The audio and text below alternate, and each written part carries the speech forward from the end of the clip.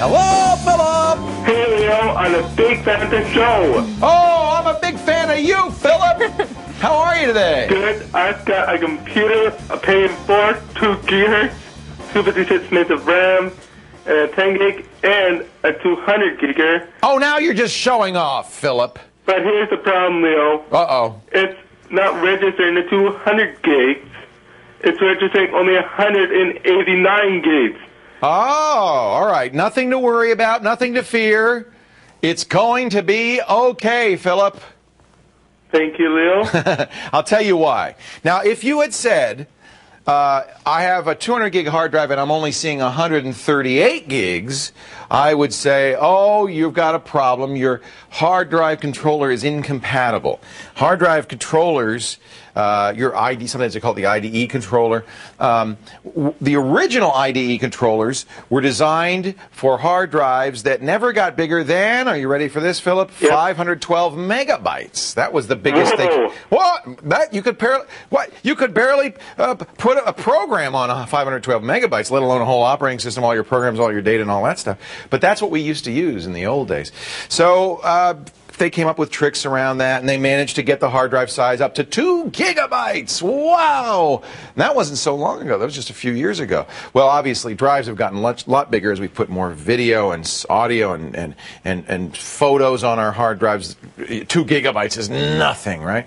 So the next barrier that we frequently run up against is this 138 gigabyte barrier, and that's because of something called 24-bit addressing. Have you ever heard of that?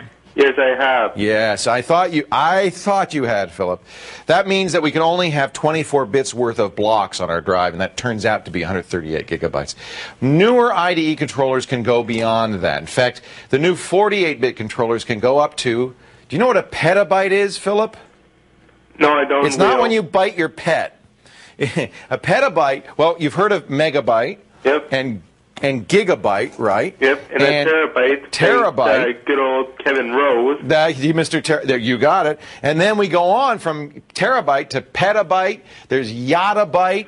Do you know? Do you, do you know Steve Gibson? What, what the what the order? You, if anybody would know, do you know what it is? Is it it's gigabyte, petabyte, yottabyte, Gigabyte, terabyte, terabyte, petabyte, petabyte, and then I can't zottabyte. There's yottabyte, zottabyte. Do you know, Sean? I don't know. I'll find out. No, we, we, we had this as a quiz question. Anyway, the point is, with 48-bit addressing, you can get four petabytes on a hard drive.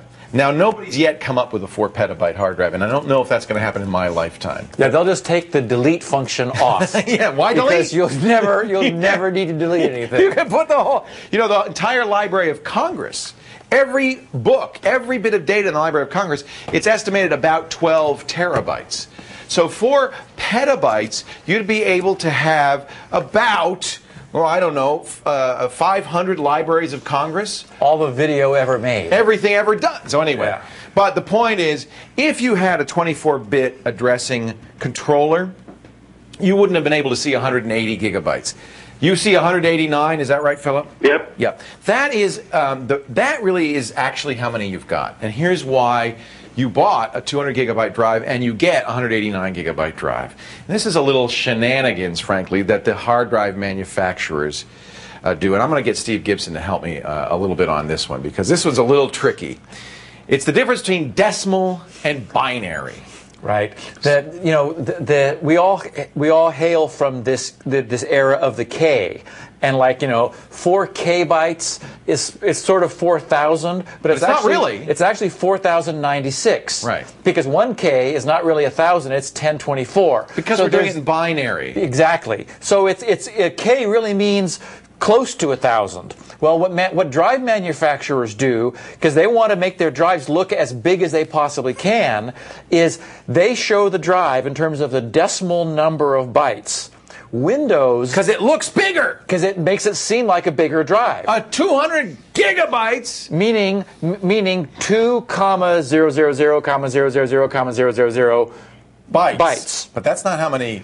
Not how many gig because in gig in actual gigabytes in binary each each K is not a thousand, it's 1024. Each mega is not a million, it's a million something. So what happens is in gigabytes, in binary, it's you, you lose some apparent size. So what, when they say it's uh, uh, 200 gigabyte hard drive, what they're really saying is it is a 200 billion byte hard drive. decimal bytes. 200 billion bytes. But if we actually set it in kilobytes, megabytes, really gigabytes, it's, Right. it's about 189, as it turns out. That's exactly right. And it'll say on the box in very fine print or somewhere it'll say the actual capacity of the drive. You also lose, and this is actually I'm glad you're here because I've always wanted to ask you about this. You also lose some when you format a drive. Some data goes away. Yes, there, there's what's called file system overhead. The, the, you know, we've all heard of the FAT tables, and then there's the boot sectors, and in NTFS there are, it's called a bit FAT.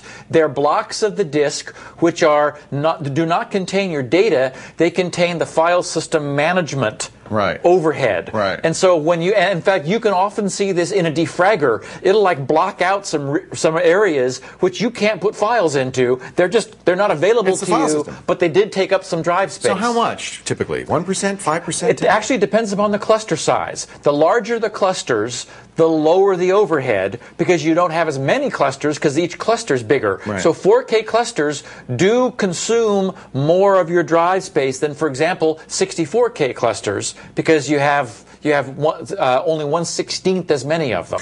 Now, when you get a drive in the store, usually it's pre-formatted. Do they typically format 4K clusters? 4K because it's the default, Right. but it's not optimal for, for, for today's media. So you could reformat and regain some space. Right.